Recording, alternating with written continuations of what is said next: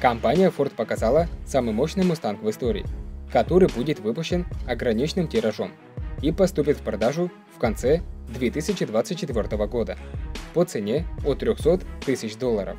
По словам генерального директора, Mustang GTD не проектировался как гражданский вариант для трассы.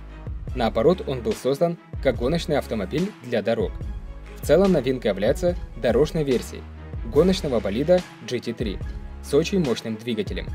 Под капотом установлен огромный V8 объемом 5,2 литра, который работает в паре с 8-ступенчатой коробкой передач с двойным сцеплением.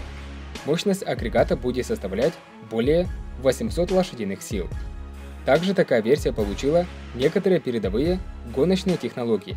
Среди них активная аэродинамика, адаптивная подвеска, титановый выхлоп с активной системой клапанов и другие спортивные доработки.